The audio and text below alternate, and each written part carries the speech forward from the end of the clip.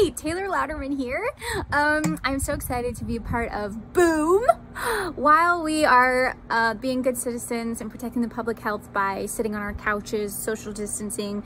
Um, we thought we would bring some opportunities to study and learn and live in the world of musical theater to your couch.